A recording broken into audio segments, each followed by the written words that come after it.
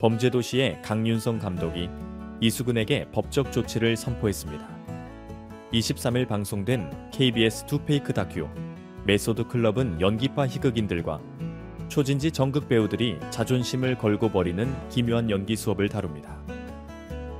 희극 배우 이수근, 이수지 곽범은 매회 정극 배우를 학생으로 맞아 도발적인 연기 수업을 진행합니다.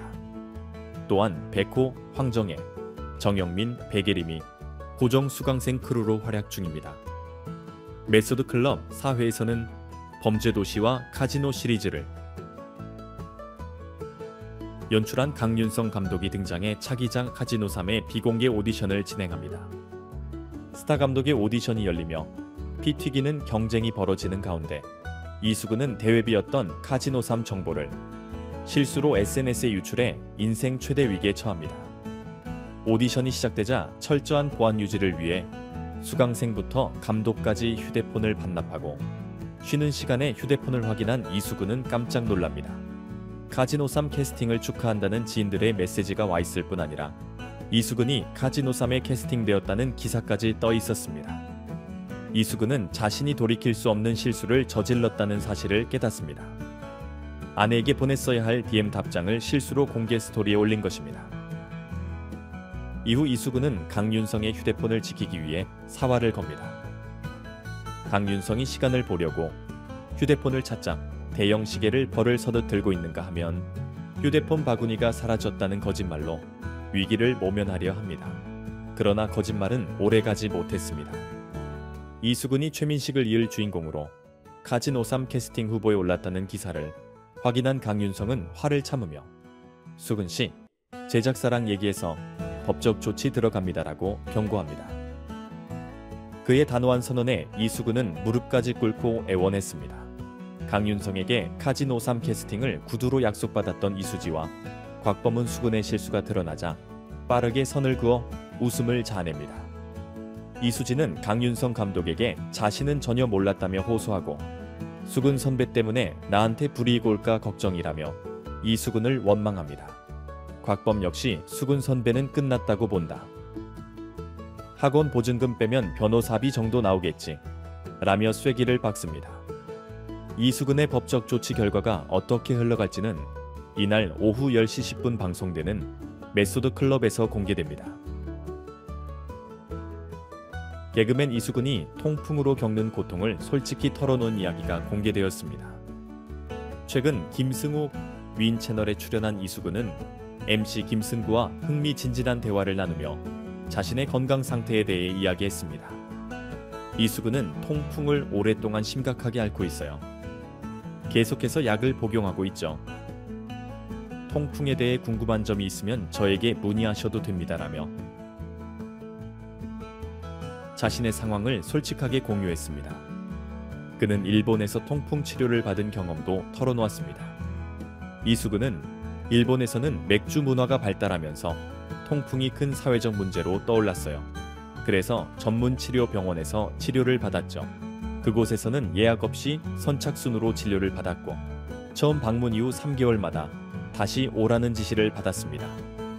하지만 자주 일본에 갈 수 있는 상황이 아니라 어려움을 겪었어요. 라고 전했습니다. 이수근은 약을 먹고 있는 상황에서 술을 마시면 통풍 발작이 일어나곤 합니다. 그래서 새벽에 깨어나게 되죠.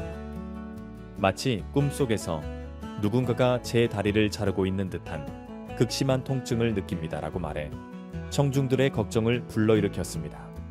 박지현 씨는 2008년에 12살 연상인 이숙은 씨와 결혼해 두 아들을 두고 있습니다. 그녀는 2011년에 임신 중독증으로 큰 고통을 겪었고 결국 친정아버지에게 신장을 이식받았습니다. 이식 후에는 스테로이드 부작용으로 문페이스 증상을 경험했다고 고백했습니다. 최근 박지연 씨는 스테로이드 부작용으로 인해 대퇴부 괴사로 인해 양쪽 인공관절을 사용하게 되었다고 밝혔습니다. 그녀는 약속 중 처음으로 인공관절이 빠져 인생에서 가장 큰 고통을 겪었다라고 고백했습니다. 이 사건 이후 현재는 휴식 중이며 외래 진료를 기다리고 있지만 일상은 잘 보내고 있어요. 감사한 마음을 잊지 않고 살겠습니다. 라는 글을 통해 팬들에게 감사의 인사를 전했습니다.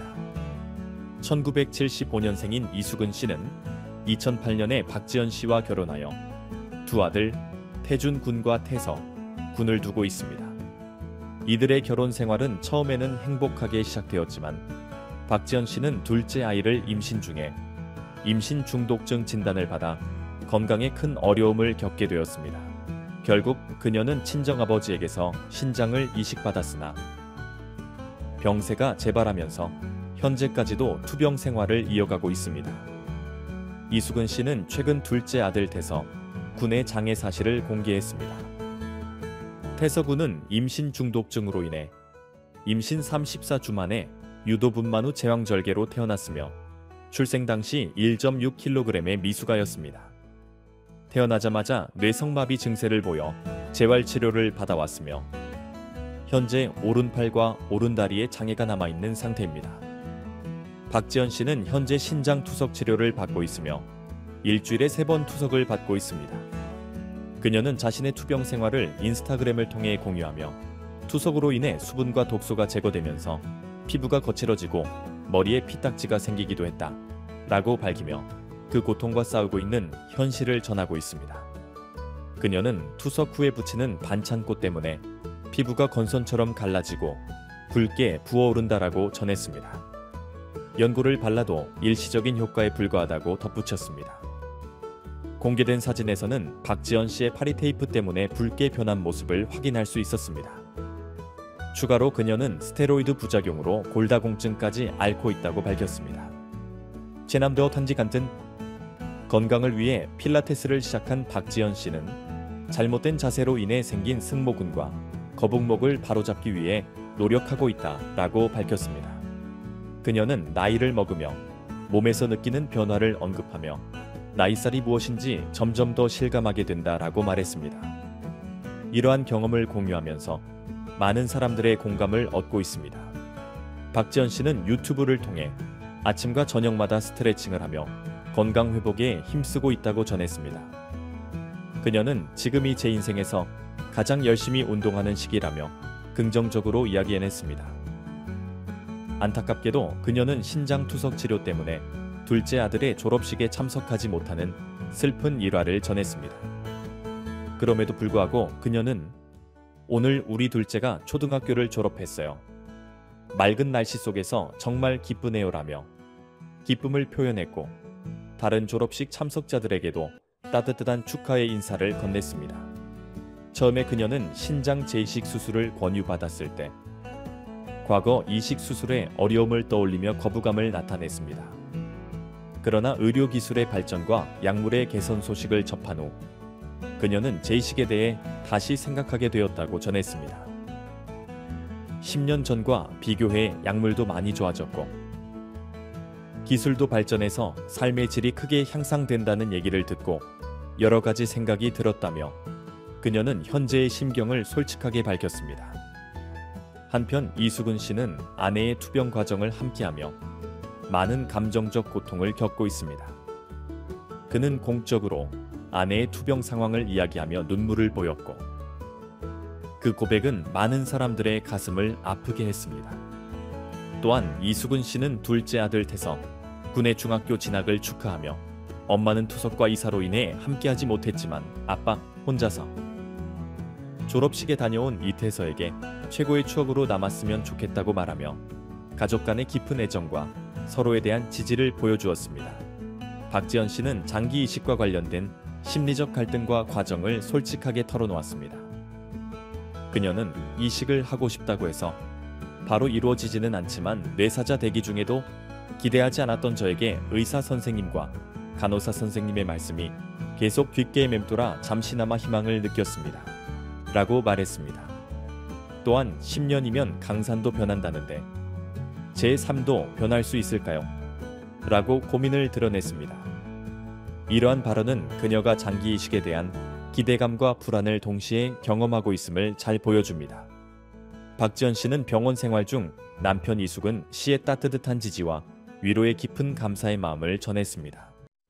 그녀는 병원에 다니는 것도 나도 힘들지만 가족들도 더 힘든 일이다. 그럼에도 불구하고 남편이 내 모든 예민함을 받아주고 희망적인 말로 우리의 미래를 그려줘서 감사한 시간을 보내고 있다. 라고 말했습니다. 이수근 씨의 지지와 격려가 박지현 씨에게 얼마나 큰 힘이 되는지 느낄 수 있는 대목입니다. 이번 영상 여기까지입니다. 시청해 주셔서 감사합니다. 많은 의견을 남겨주세요.